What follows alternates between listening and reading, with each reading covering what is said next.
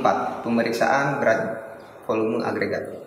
Tujuan dari praktikum ini yaitu untuk menentukan berat isi agregat kasar dan halus yang didefinisikan sebagai perbandingan antara berat material dengan volume dan untuk menentukan metode yang paling efektif berdasarkan dari tiga observasi yaitu berat isi lepas, tusuk, dan goyang.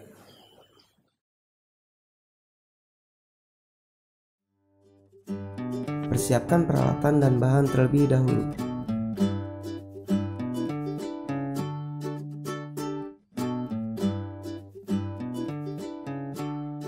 Peralatan yang digunakan dalam praktikum ini yaitu timbangan digital, skop, batang penusuk, wadah baja ukuran 15 liter dan 10 liter. Dan bahan yang digunakan dalam praktikum ini yaitu agregat halus dan agregat kasar. Berikut adalah prosedur pengujiannya.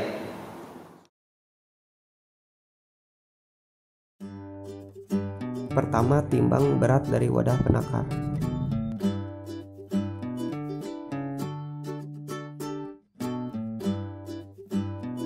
Masukkan agregat kasar ke dalam alat penakar hingga penuh secara langsung.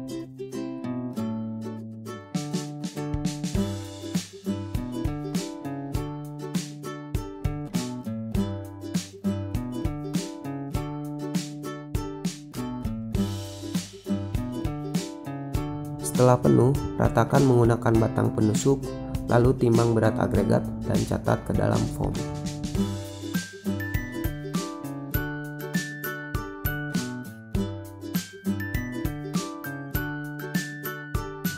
Dalam observasi berat isi tusuk, masukkan agregat kasar ke dalam alat menakar 15 liter secara bertahap Lalu tusuk menggunakan batang penusuk sebanyak 25 kali tiap kelipatan 1 per 3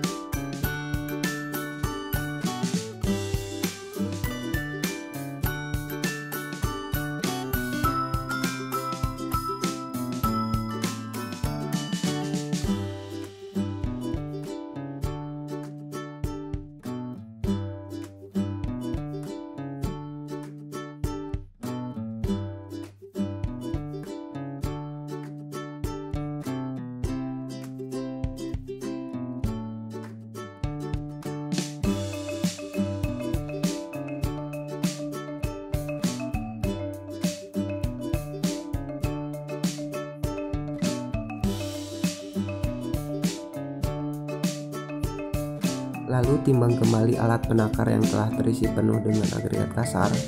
Lalu catat hasil pengukurannya.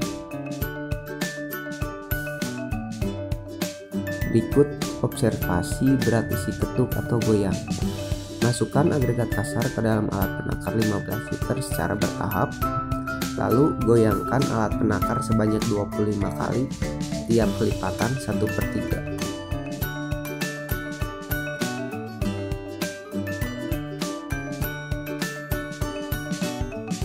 Lalu timbang kembali alat penakar yang telah terisi penuh dengan agregat kasar. Lalu catat hasil pengukurannya.